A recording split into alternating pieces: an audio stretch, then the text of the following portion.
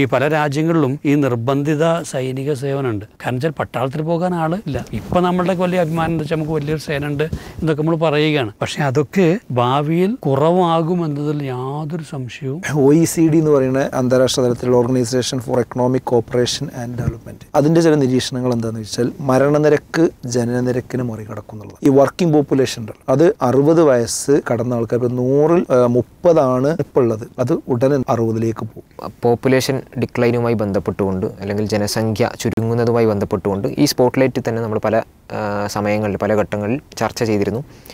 ഇത് പിന്നെ ആഗോളതലത്തിൽ അതുണ്ടാക്കിയ മാറ്റങ്ങളും അങ്ങനെ പോപ്പുലേഷൻ ഡിക്ലൈനുമായി ബന്ധപ്പെട്ട് പല രാജ്യങ്ങളിലും എന്താണ് സംഭവിച്ചത് എന്നുള്ളതൊക്കെ നമ്മൾ ചർച്ച ചെയ്തിരുന്നു.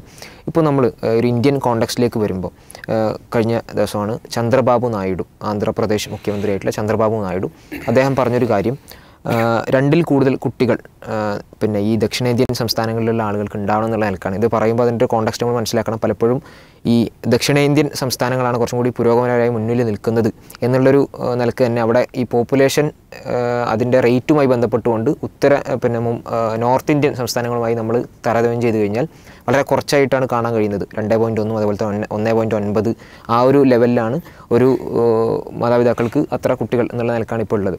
അപ്പോൾ ആ നിലയ്ക്ക് പോപ്പുലേഷൻ ഡിക്ലൈൻ എന്നുള്ളത് ഇന്ത്യൻ കോണ്ടക്സ്റ്റിൽ ഇപ്പം ചർച്ച ചെയ്യപ്പെട്ടുകൊണ്ടിരിക്കുകയാണ്. പ്രത്യേകിച്ച് ഒരു ഒരു ഒരു സംസ്ഥാനത്തിന്റെ മുഖ്യമന്ത്രി ചർച്ച ചെയ്യുന്നു പറയുമ്പം അത് നമ്മൾ ചർച്ചയ്ക്ക് എടുക്കേണ്ടതല്ലേ അല്ല എനിക്ക് ഈ ഇദ്ദേഹം ഇത് ഉന്നയിച്ചപ്പോൾ ആദ്യം തോന്നിയൊരു സന്തോഷം എന്താ വെച്ചാൽ നമ്മുടെ നാട്ടിൽ സ്ഥിരമായൊരു നെഗറ്റീവ് ഉണ്ട്. എന്താ വെച്ചാൽ ഇവിടുത്തെ മുസ്ലിം പോപ്പുലേഷൻ വർദ്ധിച്ചുകൊണ്ടിരിക്കുകയാണ്. സമീപ ഭാവിയിൽ ഈ രാജ്യം മുസ്ലിം രാജ്യമായി തീരുമെന്നുള്ളത്. പക്ഷെ ഇവിടെ അത്തരത്തിലുള്ള ഈ വ്യാജ ആരോപണങ്ങൾക്കൊക്കെ അപ്പുറം ദേശീയമായൊരു താല്പര്യത്തെ മുൻനിർത്തിയിട്ട് ഗൗരവമുള്ളൊരു വിഷയത്തെ ധൈര്യപൂർവം ഉന്നയിക്കാൻ ചന്ദ്രബാബു നായിഡുവിനെ പോലൊരാൾ തയ്യാറായി എന്നുള്ളത് വളരെ പ്രധാനപ്പെട്ട ഒരു കാര്യമാണ്. പലപ്പോഴും നമ്മുടെ പൊളിറ്റിക്കൽ ലീഡേഴ്സിന് ഇത് പറയാൻ ധൈര്യമില്ല. കാരണം പോപ്പുലേഷൻ കൂടുക എന്ന് പറഞ്ഞാൽ അത് അയ്യോ അത് രാജ്യത്തിന്റെ തകർച്ചയ്ക്ക് കാരണമാവുന്നതാണ്. പക്ഷേ ഇത് അദ്ദേഹം അതിന്റെ റൈറ്റ് കോണ്ടെക്സ്റ്റിൽ ആ കാര്യം പറഞ്ഞു എന്നുള്ളത് വളരെ പ്രധാനപ്പെട്ടൊരു കാര്യം തന്നെ. എനിക്ക് തോന്നുന്നത് ഭാവിയിൽ ഇന്നിപ്പോൾ അതിനെ കളിയാക്കിക്കൊണ്ടുള്ള മറ്റേ വാർത്തകളും വന്നിട്ടുണ്ട്. പക്ഷേ ഭാവിയിൽ ഒരു പക്ഷേ ചന്ദ്രബാബു നായിഡു ഓർമ്മിക്കപ്പെടാൻ പോകുന്ന ഒരു പ്രധാനപ്പെട്ട അദ്ദേഹത്തിന്റെ കോൺട്രിബ്യൂഷനായിരിക്കും ഇതെന്ന് ഞാൻ പറയുന്നത്. അപ്പം ഞാനിവിടെ ഒരു കാണുന്നത് വെച്ചാൽ നമ്മൾ നേരത്തെയും പറഞ്ഞിട്ടുണ്ട് ഇന്ത്യയെ സംബന്ധിച്ചിടത്തോളം അതിന്റെ പോപ്പുലേഷൻ ഒരു ഓപ്പർച്യൂണിറ്റി ആണെന്നുള്ളത് ഇത് തിരിച്ചറിയാൻ കഴിയുന്ന ഭരണാധികാരികൾ ഉണ്ടാകലാണ് നമുക്ക് ആവശ്യം. അപ്പോൾ ആ നിലയ്ക്ക് ഇപ്പം സ്റ്റാലിനും ആ രീതിയിൽ ആവാം അപ്പോൾ എന്ന് വെച്ചാൽ അത് അത് നല്ലൊരു കാഴ്ചപ്പാടോടെ അറ്റ്ലീസ്റ്റ് നമ്മളുടെ ഈ ഈ ദക്ഷിണേന്ത്യയിലെങ്കിലും ഇത് ഉയർന്നു വരുന്നത് എന്തായാലും പതിനാറ് കുട്ടികളുണ്ടായ എന്താ കുഴപ്പം? അതെ അതെ. വല്ലാത്ത ചോദ്യമാണത്. പക്ഷെ നമ്മൾ മനസ്സിലാക്കണം വെച്ചാൽ ഇപ്പോൾ കേരളത്തിൽ എടുത്തു കഴിഞ്ഞാൽ നമ്മളുടെ നാട്ടിൽ ഇതിന്റെ അനന്തരഫലങ്ങൾ നമ്മൾ അനുഭവിച്ചു തുടങ്ങിയിട്ടുണ്ട്. ഇപ്പം ഇന്ന് മിനിഞ്ഞാന്ന് അട്ടപ്പാടിയിൽ. ഞാൻ ഒരു ആവശ്യത്തിന് വേണ്ടി അവിടെ ഒരു ചെറിയൊരു ഗ്യാതറിങ്ങിന്റെ ഭാഗമായിട്ട് പോയതായിരുന്നു അപ്പോൾ പോകുന്ന സമയത്ത് പാർക്കോടെ പോയി നോക്കാൻ പറ്റുന്നതുകൊണ്ട് പറയുന്നത്. അവിടെ ജല്ലിപ്പാറ എന്ന് പറയുന്ന സ്ഥലത്ത് നിന്ന് കുറച്ച് ഉള്ളിലോട്ട് പോകുന്ന സമയത്ത് മൂന്ന് ക്രിസ്ത്യൻ ചർച്ചുകൾ വലിയ ചർച്ചുകൾ. അപ്പോൾ അതിങ്ങനെ കണ്ടപ്പോൾ അതിന്റെ അതൊക്കെ അതൊക്കെ പൂട്ടിക്കിടക്കുകയാണ് അത് അവിടെ പൂർത്തിക്കിടക്കണം ചില അവിടെ അതായത് ഇത് റെഗുലർ ആയിട്ടുള്ള പ്രയേഴ്സ് നടക്കുന്നില്ല. കാരണം നേരത്തെ ആ പ്രദേശങ്ങളിലൊക്കെ ധാരാളം ക്രിസ്ത്യൻ കുടിയേറ്റം നടന്ന സ്ഥലങ്ങളാണ്. ആ കുടിയേറി മലയിലേക്ക് കയറിയ ആളുകളൊക്കെ മല ഇറങ്ങി കഴിഞ്ഞിരിക്കുന്നു. അപ്പോൾ ഒരു തിരിച്ചു നടത്തത്തിലേക്ക് കയറില്ല ഇതിന്റെ കാരണം എന്താ വെച്ചാൽ ഈ പറഞ്ഞ കയറിയവർക്കൊക്കെ ഒന്നോ രണ്ടോ കുട്ടികൾ ആണുണ്ടായി. ഇവർ കർഷകരായിരുന്നു. അവർ മണ്ണിനോട് പൊരുതി നല്ല അത്യാവശ്യം എന്തെങ്കിലുമൊക്കെ കൃഷിയിടങ്ങളൊക്കെ ഭംഗിയാക്കി സമ്പാദിച്ച് അതുകൊണ്ട് കുട്ടികളെയൊക്കെ പഠിപ്പിച്ചു. ഒന്നോ രണ്ടോ കുട്ടികളുള്ളൂ. ആ കുട്ടികൾ പഠിച്ച് ഒന്നുകിൽ നഗരങ്ങളിലേക്ക് ചേക്കേറി അതുമല്ലെങ്കിൽ അവർ വിദേശത്തേക്ക് പോയി. ഇവർ പോയ കുട്ടികൾ ഒരിക്കലും തിരിച്ച് തിരിച്ചിങ്ങോട്ട് വരാൻ പോകുന്നില്ല. അപ്പോൾ അവരെ സംബന്ധിച്ചിടത്തോളം ഒന്നുകിൽ പാരൻസും അവരെ പിറകെ പോകേണ്ട അവസ്ഥ വന്നു. അപ്പോൾ ഈ നിലയ്ക്ക് വിറ്റ് പെറുക്കി അവരൊക്കെ നിന്ന്. ഇത് നമുക്ക് കുറച്ചുകൂടി നോക്കിക്കഴിഞ്ഞാൽ കാണാൻ പറ്റും. ഇനി ഇത് ഗ്രാമങ്ങളിലേക്ക് വരും. ഇത് മലയോരത്താണ് നടന്നു വെച്ചാൽ ഗ്രാമങ്ങളിലേക്കും ഗ്രാമങ്ങളും ഇതുപോലെ വിട്ടൊഴിയപ്പെടുകയും നഗരങ്ങളിലേക്കുള്ള കുടിയേറ്റം വർദ്ധിക്കുകയും ചെയ്യും.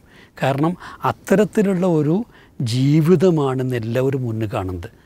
അത്തരം ജീവിത സാധ്യതകളെ സൗകര്യങ്ങളെ അതിന്റെ ഒരു ഈ പറഞ്ഞ വൈബോ എന്റർടൈൻമെന്റോ എല്ലാം ചേർന്ന ഒരു ജീവിതത്തിലേക്കാണ്.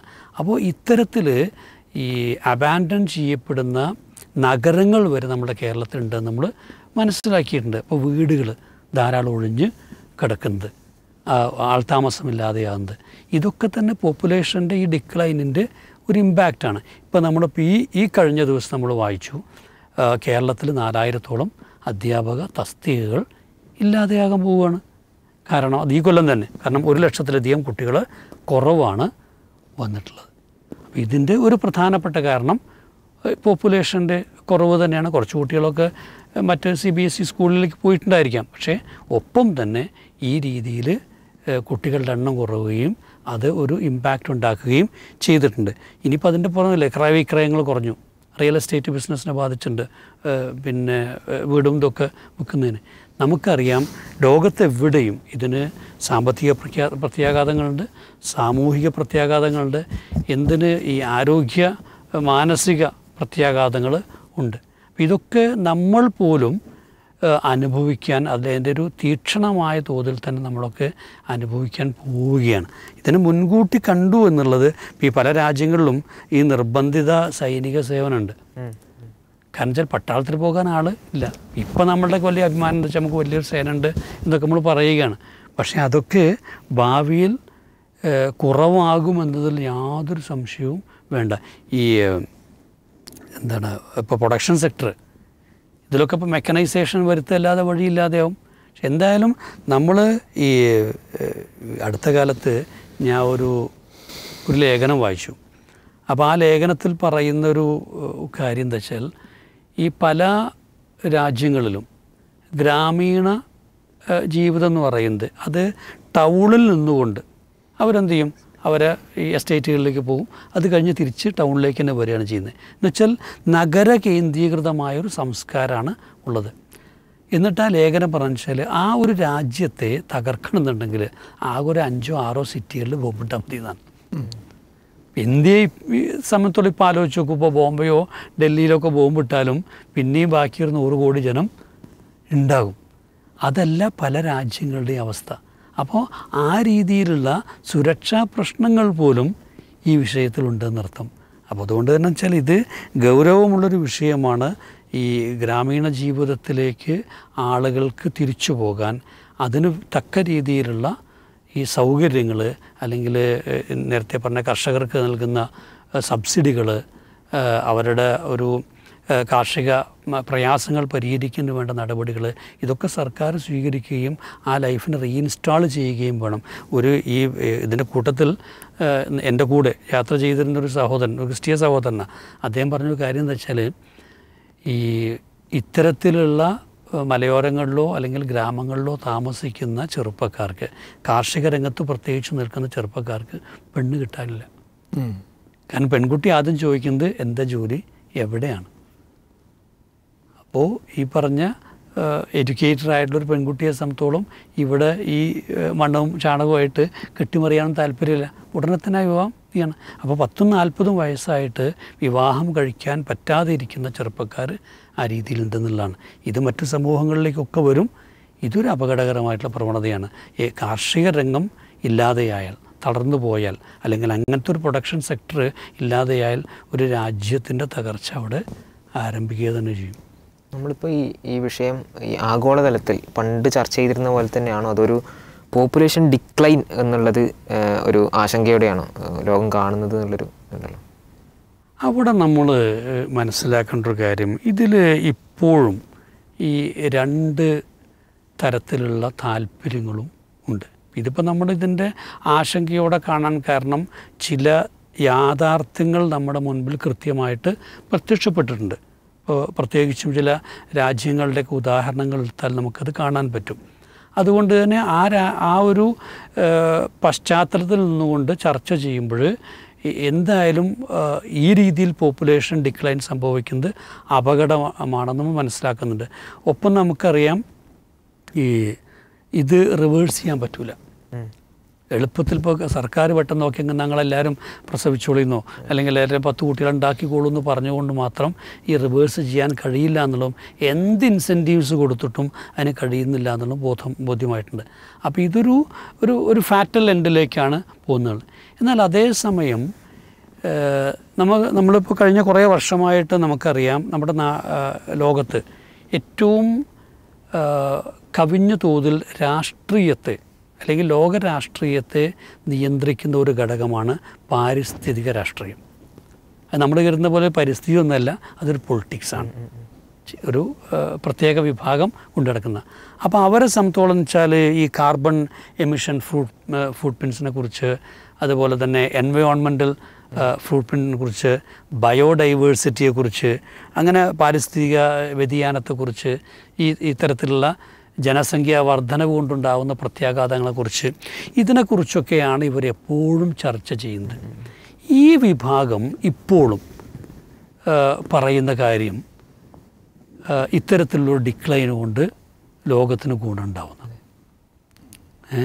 അതിന് അവർ ഉന്നയിക്കുന്നതിലെ കാരണം അത് ഇത് ഗ്രോത്ത് ബേസ്ഡ് എക്കോണമിക്ക് മാത്രമാണ് പ്രശ്നം ഉണ്ടാവുക അതുകൊണ്ട് തന്നെ ഒരു ഡീഗ്രോത്തും ഇക്വിറ്റിയും കൊണ്ടുവരുന്ന ഒരു പുതിയ ലോകം ഒരു പുതിയ സംവിധാനം ഉണ്ടായി വരണം. അതിനകത്ത് മത്സരങ്ങൾ കുറവായിരിക്കും. അപ്പോൾ കുറച്ചുകൂടെ ഹെൽത്തിയറായ ഒരു ലൈഫ് ഉണ്ടാകും. ഇതുപോലെ തന്നെ ഈ കാർബൺ എമിഷനൊക്കെ കുറഞ്ഞുകൊണ്ട് തന്നെ ജനങ്ങൾക്ക് ആരോഗ്യ ഇത് രോഗങ്ങൾ കുറവായിരിക്കും. അപ്പോൾ ഇങ്ങനെയുള്ള ഒരു തരം ഇക്കോ പൊളിറ്റിക്സ് മുൻനിർത്തിക്കൊണ്ടുള്ള ഒരു ചിന്ത ഉണ്ട്.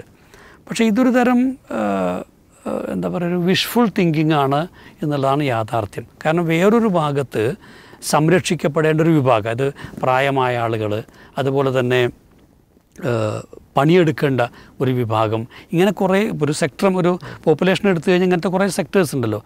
ഇതൊക്കെ അതിന്റെ ആവശ്യത്തിന് ഇല്ലാതെയാകുന്ന ഒരവസ്ഥയിൽ ഇത് എത്രമാത്രം ഈ പറയുന്നതൊക്കെ സാധ്യമാകുമെന്നുള്ളത് വളരെ പ്രധാനമാണ്. ഇപ്പോൾ ഞാൻ കഴിഞ്ഞൊരു ദിവസം ഈ സയന്റിഫിക് അമേരിക്കൻ എന്ന് പറയുന്ന മാഗസിനിൽ ഈ ഇതുമായിട്ട് ബന്ധപ്പെട്ടൊരു ലേഖനം വായിച്ചു. അപ്പോൾ അതൊരു പക്ഷേ വായിച്ച് നമുക്ക് മറ്റു പലതിന്റെ ഒരു ക്രക്സ് കിട്ടും. അതിനകത്ത് പറഞ്ഞൊരു കാര്യം എന്ന് population stabilisation and decline will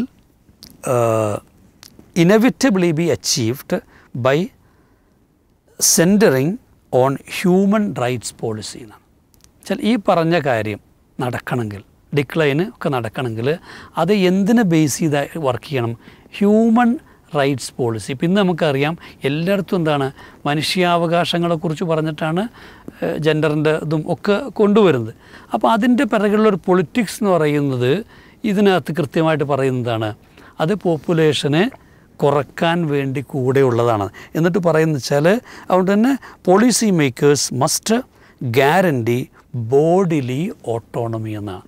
നമ്മൾ പറയുന്നത് എന്റെ ശരീരം എന്റെ അവകാശം എന്നുള്ള സാധനത്തെ പോളിസി മേക്കേഴ്സ് നിർബന്ധമായിട്ടും അതിനെ ഫോക്കസ് ചെയ്യണമെന്നാണ്. അപ്പോൾ അത് പറഞ്ഞ് പഠിപ്പിച്ച് അതിനെ സമൂഹത്തിന്റെ സംസ്കാരമാക്കി മാറ്റണം. And access to reproductive health care gender equity and women and girls education അപ്പോൾ വിദ്യാഭ്യാസം കൊടുക്കൽ ഈ പറഞ്ഞ പോലെ ജെൻഡർ ഇക്വിറ്റി ഈ കാര്യങ്ങളെല്ലാം ഊന്നിക്കൊണ്ടുള്ള പോളിസി ആണ് ലോകത്തുണ്ടായി വരേണ്ടത്. അതിലൂടെ നമുക്ക് ഈ പോപ്പുലേഷൻ ഡിക്ലൈന് അല്ലെങ്കിൽ അതിന്റെ സ്റ്റെബിലൈസേഷൻ സാധ്യമാകുന്നതാണ് അപ്പോൾ പറഞ്ഞു വെച്ചാൽ ഈ രണ്ട് കാര്യങ്ങൾ. ഒന്ന് നമ്മൾ പറയുന്ന ഈ ഈ പറയുന്ന ജിയോ പൊളിറ്റിക്സ് എന്ന് പറയുന്നതും ഈ ഹ്യൂമൻ റൈറ്റ്സ് ആക്ടിവിസവും കൈകോർത്ത് നിൽക്കുന്നത് യഥാർത്ഥത്തിൽ ഈ പറയുന്ന ഒരു പോപ്പുലേഷന്റെ കൺട്രോളിന് കൂടെ വേണ്ടിയുള്ളതാണ്. അതിന്റെ പിറകിൽ ഇപ്പോൾ പലപ്പോഴും പറയപ്പെടുന്നത് ചില ജൂത ലോബികളുടെയൊക്കെ താല്പര്യമാണെന്നാണ്. ഒരിക്കലും ഇവിടെ പോപ്പുലേഷൻ ഇൻക്രീസ് ഉണ്ടാകാൻ നിവൃത്തിയില്ലാത്തത് അവർക്കാണ്. അവർക്കാണ് ഇതിന്റെ ത്രട്ടും ഉണ്ടാകാൻ പോകുന്നത്. അവർക്ക് അതുകൊണ്ട് തന്നെ അത് അനുഭവിക്കാൻ കൂടുതൽ മെച്ചപ്പെട്ട ജീവിതം അനുഭവിക്കാൻ യഥാർത്ഥത്തിൽ മറ്റുള്ളവരുടെ വിഭവ സൗകര്യങ്ങൾ കുറയ്ക്കുക എന്നുള്ളതാണ് ഏറ്റവും ആവശ്യം തന്നെയാണ് അവർ വിശ്വസിക്കുന്നത്. അപ്പോൾ അതുകൊണ്ട് തന്നെ നമ്മൾ ആർക്കു വേണ്ടി നിലനിൽക്കണം എങ്ങനെ ഈ രാഷ്ട്രീയത്തെ പാരിസ്ഥിതിക രാഷ്ട്രീയത്തെ പോലും കാണണമെന്നുള്ളത് പ്രധാനപ്പെട്ട ഒരു ചോദ്യമാണ്. ഈ ജപ്പാനിലൊക്കെ ഉള്ള പോലെ കേരളത്തിന്റെ സൗത്ത് കേരളയിൽ ഈ ഗോസ്റ്റ് ഹൗസസ് ആളുകൾ ഇല്ലാത്ത രീതിയിലേക്ക് വീടുകൾ മാറുക എന്നുള്ളതൊക്കെ ഉണ്ടല്ലോ. അപ്പോൾ അതിനെക്കുറിച്ച് ഒരു നമ്മുടെ കേരളത്തിലെ പ്രമുഖരായിട്ടുള്ള ഒരു സഞ്ചാരി അദ്ദേഹം പറഞ്ഞു വെച്ച് കഴിഞ്ഞാൽ ഇവിടെ നമുക്ക് സൗകര്യങ്ങളില്ല വൈബില്ല അതുകൊണ്ട് കുട്ടികളങ്ങ് യൂറോപ്പിലേക്ക് പോവുകയാണ്. അവർ തിരിച്ചു വരുന്നില്ല എന്നുള്ളതാണ്. പക്ഷേ അത് മൂപ്പര് ഒരുപാട് പറയുമ്പോഴും ഈ പോപ്പുലേഷനെ കുറിച്ച് ഉള്ള ചർച്ചയിലേക്ക് വരുന്നില്ല. അവരും പോപ്പുലേഷൻ ഡി പോപ്പുലേഷൻ എന്നുള്ളൊരു വലിയ പ്രശ്നമായിട്ട് തന്നെയാണ് കാണുന്നത്. അപ്പോൾ കേരളം അവരൊക്കെ വെച്ചാൽ കേരളത്തിന്റെ പോളിസി മേക്കിങ്ങിൽ വരെ ഇടപെടുന്ന ആൾക്കാരാണ്. കേരളം ഇതിന് എത്രമാത്രം ചർച്ച ചെയ്തിട്ടുണ്ട്? ഇതിന്റെ ഒരു ഗൗരവം എന്നുള്ള എനിക്ക് അത് കേരളം ചർച്ച ചെയ്തിട്ടില്ല. എന്റെ അഭിപ്രായം എന്താ വെച്ചാൽ ഇപ്പോൾ ഇത് ചന്ദ്രബാബു നായിഡു ആണല്ലോ ഇപ്പോൾ ഇപ്പോൾ ഉയർത്തിയത് വിഷയം. സ്റ്റാലിൻ അത് ഏറ്റെടുത്തു. അതിന് തൊട്ടടുത്തുള്ള സ്റ്റേറ്റ് കേരളമാണ്. നമ്മുടെ മുഖ്യമന്ത്രി ഇത് ഏറ്റെടുക്കണം. അതേപോലെ പ്രതിപക്ഷ നേതാവ് ഇത് ഏറ്റെടുക്കണം. രാഷ്ട്രീയ വ്യത്യാസമില്ലാതെ വിഷയമായിട്ടെടുക്കണം കാരണം ഇത് നമുക്കൊരു മനോഭാവമുണ്ട്. നേരത്തെ അമിത മോശ പറഞ്ഞത്. അതായത് ജനസംഖ്യാ ദിനം വന്നു കഴിഞ്ഞാൽ സ്കൂളുകളിലും അതുപോലെ തന്നെ പത്ര സ്കൂളുകളിലെ അസംബ്ലികളിലുള്ള പ്രസംഗങ്ങൾ ബോധവൽക്കരണങ്ങൾ പത്രങ്ങളിലുള്ള ലേഖനങ്ങൾ അന്നത്തെ മന്ത്രിമാർ പങ്കെടുക്കുന്ന പരിപാടികളിലുള്ള പ്രസംഗങ്ങൾ ഇതൊക്കെ എന്താ വെച്ചാൽ ഈ ജനസംഖ്യ വർദ്ധിക്കുന്നു എന്നതൊരു വലിയ ഭീകരമായൊരു പ്രശ്നമാണ്. എന്ന രീതിയിലേക്കാണ്. അതിന് എതിരായിട്ട് ആരെങ്കിലും പറഞ്ഞാൽ അവൻ കുഴപ്പക്കാരനായി. അവൻ മോശക്കാരനായി. അവൻ ഈ ലോകത്തിന് പറ്റാത്തവനായി. എന്ന ഒരു നരേറ്റീവ് ഇപ്പോഴും നമ്മൾ കൊണ്ടുനടക്കുന്നുണ്ട്. അത് അടിച്ച് പൊട്ടിക്കേണ്ട സമയമായിട്ടുണ്ട് എന്നുള്ളതാണ് നമ്മൾ ഈ കാര്യത്തിൽ മനസ്സിൽ അതുകൊണ്ട് ഞാൻ പറഞ്ഞ ചന്ദ്രബാബു നായിഡു പറഞ്ഞത് എന്ത് ചെയ്യണം? നമ്മളെ നാട്ടിൽ അടിയന്തരമായിട്ട് എന്ത് ചെയ്യണം? അത് ഏറ്റെടുക്കണം. അല്ലെങ്കിൽ ഏറ്റെടുക്കേണ്ട ഒരു കാലം വരും സമയം വരും. ആ സമയം വരുമ്പോൾ അത് പരിഹരിക്കാൻ കഴിഞ്ഞുകൊള്ളണം എന്നില്ല. കാരണം എന്താ വെച്ചാൽ ഈ പിന്നെ വിഷയം പെട്ടെന്ന് പരിഹരിച്ചെടുക്കാൻ കഴിയുന്ന വിഷയമല്ല. അതുകൊണ്ട് തന്നെ ഇതിന്റെ ഗൗരവം എന്ത് ചെയ്യണം? അപ്പോൾ ഇതിന്റെ ഗൗരവം ഞാൻ പറഞ്ഞുതരാം. ഇപ്പോൾ ഈ ഒ ഇ സി ഡി എന്ന് പറയുന്ന അന്താരാഷ്ട്ര തലത്തിലുള്ള organisation for economic cooperation and development. അതിന്റെ ചില നിരീക്ഷണങ്ങൾ എന്താണെന്ന് വെച്ചാൽ മരണനിരക്ക് ജനനനിരക്കിന് മറികടക്കും എന്നുള്ളതാണ്. അതേപോലെ തന്നെ ഈ വർക്കിംഗ് പോപ്പുലേഷൻ ഉണ്ടല്ലോ. അത് അറുപത് വയസ്സ് കടന്ന ആൾക്കാർ. ഇപ്പോൾ നൂറിൽ മുപ്പതാണ് മുപ്പതാണ് ഇപ്പോൾ ഉള്ളത്. അത് ഉടനെ എന്താവും അറുപതിലേക്ക് പോകും. അതായത് നൂറാളുണ്ടെങ്കിൽ അറുപത് പേരും അറുപത് വയസ്സിന് മുകളിലുള്ളവരായിരിക്കും എന്ത് ചെയ്യുക? വർക്കും വർക്കിംഗ് പോപ്പുലേഷനായിട്ട് ഉണ്ടാവുക എന്നതാണ്. അപ്പോൾ ഒരു ഏജിങ് സൊസൈറ്റി ആയിട്ട് എന്ത് ചെയ്യാണ്? നമ്മളെ ലോകം മാറിക്കൊണ്ടിരിക്കുന്നു എന്ന കൃത്യമായ പിന്നെ ഡാറ്റ എന്ത് ചെയ്യുന്നുണ്ട്? ഇവിടെ വന്നു കഴിഞ്ഞിട്ടുണ്ട്. ഇതിന് ഒരു കാരണങ്ങളായിട്ട് പറയുന്നത് എന്താണെന്ന് വെച്ചാൽ ഒന്ന് ഒരു പിന്നെ വിവാഹപ്രായം. വൈകുന്നു. അതുകൊണ്ട് തന്നെ പ്രജനനവും എന്ത് ചെയ്യുന്നു? വൈകുന്നു. അതിലിപ്പോൾ രണ്ടായിരത്തിൽ ഇരുപത്തി എട്ട് വയസ്സാണ് ഒരു ശരാശരി വിവാഹം കഴി കഴിച്ചിരുന്ന പ്രായമെങ്കിൽ ഇപ്പം അതിന്റെ ആവറേജ് മുപ്പത്തൊന്ന് വയസ്സാണ്. അത് മുപ്പത്തൊന്ന് വയസ്സ് ആകുമ്പോഴാണ് എന്ത് ചെയ്യുന്നത്? വിവാഹത്തിലേക്ക് തന്നെ കിടക്കുന്നത്. പിന്നെ കുട്ടികൾ ഉണ്ടാകുന്നത് പിന്നെയും കുറേ വൈകിട്ടാണ്. അതൊക്കെ ഇതിന് കാരണമായിട്ട് വരുന്നുണ്ട്.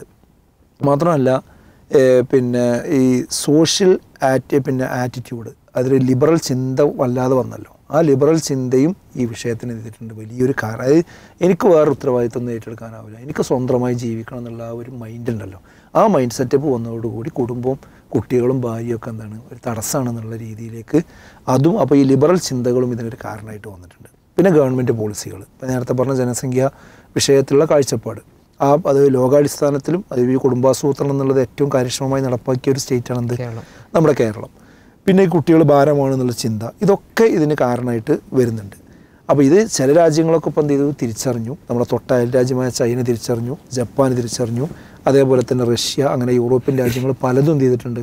തിരിച്ചറിഞ്ഞുകൊണ്ടിരിക്കുന്നുണ്ട് കരഞ്ഞുകൊണ്ടാണ് അവരെന്ത് ചെയ്യണത്? അവരുടെ അനുയായികളുടെ മുമ്പിൽ വന്നിട്ട് നിങ്ങൾ കൂടുതൽ കുട്ടികൾ എന്ത് ചെയ്യണം? ഉൽപ്പാദിപ്പിക്കണം എന്ന് പറഞ്ഞിട്ട് അവർ പറഞ്ഞുകൊണ്ടിരിക്കുന്നത് ഇതൊക്കെ കാണുമ്പോൾ നമ്മൾ കേരളം ആ തലക്കനത്തിൽ തന്നെ നിൽക്കുന്ന രീതി ഇത് കണ്ടില്ല എന്ന് നടിക്കുന്ന നീതി രീതി എന്തല്ല ശരിയല്ല എന്നാണ് പറയുന്നത് ഇന്ത്യ രാജ്യത്ത് ടോട്ടലി നോക്കുമ്പം അതിന്റെ ഒരു പ്രത്യേകത എന്തായിരിക്കും? ഈ പോപ്പുലേഷൻ ഡിക്ലൈൻ വന്നു കഴിഞ്ഞാൽ? അല്ല അതിന്റെ പ്രത്യാഘാതം ചന്ദ്രബാബു നായിഡു പറഞ്ഞ വിഷയത്തിൽ തന്നെ ഉണ്ട്. കാരണം അദ്ദേഹം പറഞ്ഞ ആ സ്റ്റേറ്റ്മെന്റ് നമ്മളൊന്ന് കുറച്ചും കൂടി ഒരു ഗൗരവത്തിൽ കാണണമെന്ന് എനിക്ക് അഭിപ്രായമുണ്ട്. ഞാൻ പറഞ്ഞുതരാം. അതിൽ പ്രധാനപ്പെട്ട പോയിന്റ് എന്താണെന്ന് വെച്ചാൽ ഒന്ന് ദക്ഷിണേന്ത്യയുള്ളവർ രണ്ടിൽ കൂടുതൽ കുട്ടികളെക്കുറിച്ച് ചിന്തിക്കണമെന്ന് ആന്ധ്രാപ്രദേശിൽ രണ്ടായിരത്തി നാൽപ്പത്തേഴിന് ശേഷം യുവാക്കളെക്കാൾ കൂടുതൽ പ്രായമായവരും ഉണ്ടാകും. അദ്ദേഹത്തിന്റെ അദ്ദേഹം വെറുതെ പറഞ്ഞതല്ല. രണ്ടായിരത്തി നാൽപ്പത്തേഴ് ആകുമ്പോഴേക്ക് യുവാക്കളെക്കാൾ കൂടുതൽ എന്ത് ചെയ്യും? പ്രായമായവരുണ്ടാവും യുവതലമുറ രാജ്യത്തിന്റെ വിവിധ ഭാഗങ്ങളിലേക്കും വിദേശത്തിലേക്കും കുടിയേറുന്നതോടെ പല ജില്ലകളിലും ഗ്രാമങ്ങളിലും പ്രായമായവർ മാത്രമായി അവശേഷിക്കും. അതുപോലെ ഇന്ത്യയുടെ ശരാശരി ജനസംഖ്യാ വളർച്ച തൊള്ളായിരത്തി അൻപതുകളിൽ ആറ് പോയിന്റ് രണ്ട് ശതമാനത്തിൽ നിന്ന് രണ്ടായിരത്തി ഇരുപത്തൊന്നിൽ രണ്ട് പോയിന്റ് ഒന്നായി കുറഞ്ഞു. ആന്ധ്രാപ്രദേശിൽ ഇത് ഒന്ന് പോയിന്റ് ആറ് ശതമാനമായിട്ട് ചെയ്തിട്ടുണ്ട് കുറഞ്ഞിട്ടുണ്ടെന്നുള്ള ഇവിടെ നമ്മൾ മനസ്സിലാക്കേണ്ട ഒരു വിഷയം എന്താണെന്ന് വെച്ചാൽ നേരത്തെ ഈ ദക്ഷിണേന്ത്യയിലെ പിന്നെ കുടുംബങ്ങളിൽ കുട്ടികൾ വർദ്ധിപ്പിക്കണം അതിന് അതാണ് ഇതിന്റെ രാഷ്ട്രീയമായിട്ടൊരു വിഷയം നമ്മൾ മനസ്സിലാക്കേണ്ടത്. കാരണം എന്താ വെച്ചാൽ അത് പെട്ടെന്ന് തന്നെ പിന്നെ തമിഴ്നാട് മുഖ്യമന്ത്രി ഏറ്റെടുക്കുകയും ചെയ്തു. അത് ഏറ്റെടുക്കുന്ന കാരണം എന്താ വെച്ചാൽ ദക്ഷിണേന്ത്യൻ സംസ്ഥാനങ്ങളിലാണ് കുടുംബാസൂത്രണം കാര്യക്ഷമമായി നടന്നത്. ഏറ്റവും കാര്യക്ഷമമായി നടന്ന സംസ്ഥാനം നമ്മുടെ കേരളത്തിൽ കേരളത്തിന് അതുകൊണ്ട് തന്നെ ഉത്തരേന്ത്യയും ദക്ഷിണേന്ത്യയും നോക്കിക്കഴിഞ്ഞാൽ ദക്ഷിണേന്ത്യയിലാണ് ജനസംഖ്യ കുറവുള്ളത്. എന്നാൽ ഉത്തരേന്ത്യയിൽ അത്ര തന്നെ വിദ്യാഭ്യാസവും ആ നിലയ്ക്ക് കുടുംബാസൂത്രണവും കാര്യം പിന്നെ വർക്കാകാത്തത് കൊണ്ട് അവിടെ അത്ര വലിയ ഡാമേജ് വന്നിട്ടില്ല. അപ്പോൾ ഈ ലോക്സഭാ തെരഞ്ഞെടുപ്പിന്റെ അതിലൊന്നുണ്ട് ഇപ്പൊ ഈ നീതി ആയോഗിന്റെ ഫണ്ട് വിഹിതം ഉണ്ടല്ലോ ഇത് ലഭിക്കുന്നതിനൊക്കെ ഇപ്പൊ തടസ്സമായിട്ടുള്ളൊരു കാര്യം ഇതും കൂടെയാണ്. അതെ അതെ. അതിന് അതേപോലെ ജന പിന്നെ ഈ പാർലമെന്റ് മണ്ഡലങ്ങളുടെ പുനർനിർണയം വരാനിരിക്കുകയാണ്. പാർലമെന്റ് മണ്ഡലങ്ങളുടെ പുനർനിർണയം വരുന്നത് എങ്ങനെയാണെന്ന് വെച്ചാൽ ജനസംഖ്യ അനുപാതികമായിട്ടാണ് ആളുകളുടെ എണ്ണം നോക്കിയിട്ടാണ് മണ്ഡലം പുനർനിർണയിക്കുക അപ്പോൾ അത് ശരിക്കും ആർക്ക് മനസ്സിലായിട്ടുണ്ട്? ആന്ധ്ര മുഖ്യമന്ത്രിക്ക് മനസ്സിലായിട്ടുണ്ട് സ്റ്റാലിനും മനസ്സിലായിട്ടുണ്ട്. ഇനി നമ്മളെ കേരളത്തിനും കൂടി മനസ്സിലായാൽ മതി ഉണ്ടാവില്ല അപ്പോൾ നമ്മുടെ പ്രോഫ്കോണിൽ വന്നുകൊണ്ടാണ് ധനമന്ത്രി ബാലഗോപാൽ പറഞ്ഞത് കുട്ടികളെ കുറഞ്ഞത് പ്രശ്നമായിട്ടുണ്ട് എന്നുള്ളത്. അപ്പോൾ ശരിക്കും അനക്കം നമ്മുടെ ഗവൺമെന്റ് തലത്തിൽ തന്നെ വന്നു തുടങ്ങിയിട്ടുണ്ട്. അപ്പോൾ ഇനി പിന്നെ അതിന്റെ ഇതിന്റെ രാഷ്ട്രീയ ഇമ്പാക്റ്റ് ഞാൻ പറയുന്നത് ഈ മണ്ഡലം പുനർനിർണയം നടക്കുമ്പോൾ എണ്ണം നോക്കി നടത്തുമ്പോൾ ദക്ഷിണേന്ത്യയിൽ ഒന്നുണ്ടാവില്ല സീറ്റ് കുറവായിരിക്കും. ഇംബാലൻസ് തന്നെ വരും. ഭയങ്കര പ്രശ്നം വരും. ഇതാണ് ഇതിന്റെ രാഷ്ട്രീയമായിട്ടുള്ളൊരു പ്രത്യേകത എന്ന് പറയുന്നത്. പിന്നെ മറ്റൊരു ഇതിന്റെ സാമ്പത്തികവും അതേപോലെ തന്നെ സാമൂഹികവുമായിട്ടുള്ള പ്രത്യേകത എന്ന് പറയുന്നത് ഒരു ഭാഗത്ത് ജനന നിരക്ക് കുറഞ്ഞുകൊണ്ടിരിക്കുന്നു. മറുഭാഗത്ത് നേരത്തെ ഹിലാൽ പറഞ്ഞതുപോലെ ഇവിടുന്ന് എന്ത് ചെയ്യുന്നു? യുവാക്കൾ മൈഗ്രേറ്റ് ചെയ്തുകൊണ്ടിരിക്കുന്നു. ഇത് രണ്ടും പാടെ സംഭവിക്കുമ്പോൾ എന്തായിരിക്കും ഇവിടെ നമ്മളെ കേരളത്തിലെ അവസ്ഥ ഉണ്ടാവുക? കേരളത്തിൽ ഈ ഗോസ്റ്റ് ഹൗസുകൾ എന്ന സാധനം ഇനി വർദ്ധിക്കുകയേ ചെയ്യുള്ളൂ. അത് ചില്ലറ വിഷയമല്ല. അതുപോലെ തന്നെ ബ്രെയിൻ ഡ്രെയിൻ ഈ മസ്തിഷ്ക ചോർച്ച. അതുപോലെ ഒരു വലിയ വിഷയമായിട്ട് എന്ത് ചെയ്തിട്ടുണ്ട്? വന്നുകൊണ്ടിരിക്കുന്നുണ്ട്. ഇത് സർക്കാരിന് തന്നെ ഭയങ്കര ഭാരം കൂട്ടും. പെൻഷൻ ആളുകളുടെ എണ്ണം കൂടും. അതേപോലെ തന്നെ ആരോഗ്യ ചെലവ് കൂടും. തൊഴിൽ തൊഴിലാളി ക്ഷാമം. തൊഴിലിനും ക്ഷാമം ഉണ്ടാവും. തൊഴിലാളികൾക്കും ക്ഷാമം ഉണ്ടാകുന്ന അവസ്ഥ വരും. വരുമാനം കുറയും ചെലവ് ചെയ്യും? കൂടും. ഇതൊക്കെ ഇവിടെ സംഭവിക്കാൻ പോണ. അവസാനം മാതാപിതാക്കൾ എന്ത് ചെയ്യും? ഈ വീടകങ്ങളിൽ ഒറ്റപ്പെട്ട് ജീവിച്ച് ആരും നോക്കാനില്ലാതെ പടഞ്ഞ് മരിക്കേണ്ടുന്ന ഒരു സാഹചര്യം ഗുരുതരമായ പ്രത്യാഘാതം കേരളത്തിൽ വരാൻ പോകണം അപ്പം തന്നെ വന്നു കഴിഞ്ഞിട്ട് എത്ര പുഴുവരിച്ച് കിടക്കുന്ന ആളുകളെ പിന്നീട് പത്രം ഇടാൻ പോയതിനും മറ്റുള്ള ആളുകളൊക്കെ പോയപ്പോൾ കണ്ട എത്ര സംഭവങ്ങൾ നമ്മൾ കേരളത്തിൽ റിപ്പോർട്ട് ചെയ്യപ്പെട്ടു. അതിന്റെ എണ്ണം കൂടി വരാനിരിക്കുകയാണ്. നമുക്ക് ഒരിക്കലും പ്രതീക്ഷിക്കാൻ കഴിയാത്ത ചിന്തിക്കാൻ കഴിയാത്ത വാർത്തകളാണ് എന്ത് ചെയ്യുക? നമ്മുടെ കേരളത്തിൽ നിന്ന് വരാൻ പോകുന്നത് എന്നുള്ളതാണ്. ഇതിൽ നമുക്ക് പറയാനുള്ളത് എന്താ വെച്ചാൽ ഒരു വലിയ പാഠം ലോകം പഠിക്കണം. സമൂഹം പഠിക്കണം ഇതിൽ നിന്ന് ഈ ഒരു വിഷയത്തിൽ നിന്ന്. അതായത് ഈ മാൽത്തൂസ്യൻ തിയറി വെച്ചുകൊണ്ടാണല്ലോ പിന്നെ ആളുകൾ വർദ്ധിച്ചു കഴിഞ്ഞാൽ പ്രശ്നമാകുന്നുള്ള ഒരു തിയറി വന്നത്. എന്നാൽ ഈ മനുഷ്യന്മാരെ സൃഷ്ടിച്ചത് സ്രഷ്ടാവാണ്. ആ സ്രഷ്ടാവാണ് മനുഷ്യൻ എങ്ങനെ ഇവിടെ ജീവിക്കണം എന്ന് പറയാൻ ഏറ്റവും അർഹനായിട്ടുള്ളവൻ. ആ സ്രഷ്ടാവിന്റെ കാഴ്ചപ്പാടുന്ന പിന്നെ ഇവിടെ മക്കളുണ്ടാകുന്നു എന്നത് ഒരു നെഗറ്റീവല്ല. അത് അസറ്റാണ്. കാരണം അവർ ജനിച്ചു വീഴുന്ന സമയത്ത് അവർക്ക് ഒരു വായ മാത്രമല്ല ഉള്ളത്. അവർക്ക് രണ്ട് കൈയുണ്ട് രണ്ട് കാലുണ്ട് രണ്ട് കണ്ണുണ്ട്. സൂപ്പർ പവർ കമ്പ്യൂട്ടറിനെ പോലും വെല്ലുന്ന മസ്തിഷ്കമുണ്ട്. അങ്ങനത്തെ ഒരു ഓരോ ജീവി ആൾക്കാരാണ്. ഇത് മാൻ പവർ എന്നുള്ളത് ഭയങ്കരമാണ് ആ മാൻ പവറിനെ നേരത്തെ അമിത് മാഷ് പറഞ്ഞ പോലെ ബുദ്ധിപരമായി ഉപയോഗിക്കാൻ കഴിയുന്നിടത്താണ് ഒരു രാജ്യം വിജയിക്കേണ്ടത്. ഇതാണ് ശരിക്കും ചെയ്യുന്നത്? ചെയ്യേണ്ടത്. അതിന് പകരം ഇപ്പം നമ്മളെ ശാസ്ത്രജ്ഞന്മാർ അതുപോലെ ഒരുപാട് സ്ഥലം പിന്നെ വ്യത്യസ്ത മേഖലകളിൽ കഴിവ് തെളിയിച്ച ആളുകൾ ഇവരെയൊക്കെ വരെ കുടുംബാസൂത്രണത്തിന്റെ കാര്യം പറഞ്ഞിട്ട് വയറ്റും തന്നെ കൊന്നു കളഞ്ഞിരുന്നുവെങ്കിൽ അങ്ങനത്തെ ശാസ്ത്രജ്ഞന്മാർ പുറത്തു വരുമോ എന്താ ഈ പറയണത്? അപ്പോൾ അത് ഒരിക്കലും ഇവിടെയുള്ള ഈ പിന്നെ ഇത് ഇല്ലായ്മ ചെയ്യുന്ന ഒരു സംഗതിയാണ് എന്ത് ചെയ്യുന്നത് അതിലൂടെ യഥാർത്ഥത്തിൽ വരുന്നത്. അപ്പോൾ ഞാൻ പറഞ്ഞത് എന്താ വെച്ചാൽ മനുഷ്യന്മാർ ഉണ്ടാകുന്നു എന്നുള്ള എന്തല്ല ഒരു പ്രശ്നമല്ല. അത് വളരാനും ജീവിക്കാനുള്ള എത്രയും വിഭവങ്ങൾ ഇവിടെ ഉണ്ട് അതെന്ത് ചെയ്യണം? ഉപയോഗിക്കണം എന്ന് മാത്രം. അതുകൊണ്ട് സ്രഷ്ടാവ് പറഞ്ഞിടത്തേക്ക് മനുഷ്യൻ പിന്നെ മടങ്ങണം എന്ന മെസ്സേജാണ് എന്ത്? ഇതിൽ നിന്ന് കിട്ടുന്നത്. ഇല്ലെങ്കിൽ ഇതുപോലുള്ള ബുദ്ധിമുട്ട് എന്ത് ചെയ്യും? ലോകം അനുഭവിക്കും. ഇന്ന ഹാദൽ ഖുർആാന യഹ്ദിലില്ലത്തിഹി അക്വം എന്നാണ്. ഏറ്റവും ചൊവ്വായ മാർഗത്തിലേക്കാണ് എന്ത് ചെയ്യുന്നത്? ഖുർആൻ മനുഷ്യനെ നയിക്കുന്നത്. കാരണം സൃഷ്ടാവിന്റെ വചനങ്ങൾ അതിലുണ്ട്. അതിൽ ഈ കാര്യത്തിൽ പറഞ്ഞത് വെച്ചാൽ ഒരിക്കലും നിങ്ങൾ ദാരിദ്ര്യം ഭയന്നുകൊണ്ട് നിങ്ങളെ കുട്ടികളെ കൊല്ലാൻ പാടില്ല. ഒരിക്കലും അങ്ങനെ ചെയ്യാൻ പാടില്ല. എന്ന് കൃത്യമായിട്ട് പറഞ്ഞ അത് ഒരു പുരാ പിന്നെ ആറാം നൂറ്റാണ്ടിലെ ആശയവും അത് പിന്നെ പറയുമ്പോഴേക്കന്നെ ചിരിച്ച് തള്ളി. അങ്ങനെ കളിയാക്കി വന്നതാണല്ലോ കാലം. അതിൽ നിന്ന് മടങ്ങേണ്ട ഒരു സമയം അതിക്രമിച്ചിട്ടുണ്ട്. അപ്പോൾ ഞാൻ പറഞ്ഞതിന് ചുരുക്കതാണ്. ഈ വിഷയം വെച്ചുകൊണ്ട് തന്നെ ഈ പ്രപഞ്ചത്തിന്റെ സ്രഷ്ടാവിനെ മനസ്സിലാക്കാനും മനുഷ്യന്റെ പരിമിതമായ ബുദ്ധി കൊണ്ടെടുക്കുന്ന തീരുമാനങ്ങളുടെ അപകടത്തിന്റെ പ്രത്യാഘാതം എത്രത്തോളം ഉണ്ടെന്ന് മനസ്സിലാക്കാനും എന്ത് ചെയ്യണം ലോകം തയ്യാറാകണം എന്ന് തന്നെയാണ്.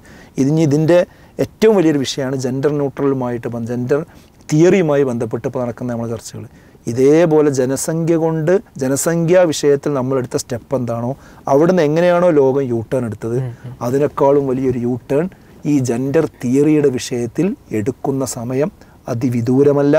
ഈ രണ്ട് കാര്യവും നമ്മുടെ കേരളം കൃത്യമായി പഠനത്തിന് വിധേയമാക്കണം. ഇവിടെയുള്ള ചാനലുകാരും അത് മാധ്യമത്തെ പ്രവർത്തകരും അതുപോലെ തന്നെ വിദ്യാഭ്യാസ വിശേഷണന്മാരും സാമൂഹ്യ നിരീക്ഷകന്മാരും പൊളിറ്റിക്കൽ പാർട്ടികളും ഒക്കെ ഈ വിഷയം എത്ര നേരത്തെ ചർച്ചക്കെടുക്കുന്നുവോ അത്ര നേരത്തെ നമുക്ക് ഈ ക്രൈസിസിനെ മറികടക്കാൻ കഴിയും. എന്തായാലും ധാർമ്മികപരമായിട്ടുള്ള കുറേ പ്രത്യാഘാതങ്ങൾ അതിലുണ്ടാവും എന്നുള്ളത് തന്നെയാണ്. എന്തായാലും നമ്മൾ ഈ രണ്ട് വിഷയങ്ങളിൽ നിന്ന് ചർച്ച ചെയ്ത് പതിനെട്ടാം നൂറ്റാണ്ടിലുള്ള ഒരു തിയറി ഒരു കപടശാസ്ത്രം അത് ആവരുത് ഇരുപത്തി ഒന്നാം നൂറ്റാണ്ടിലുള്ള ആധുനിക മനുഷ്യൻ എന്ന് സ്വയം വിളിക്കുന്ന നമ്മളെ നയിക്കേണ്ടത് എന്നുള്ളത് തന്നെയാണ് ഇതിൽ സൂചിപ്പിക്കാനുള്ളത്.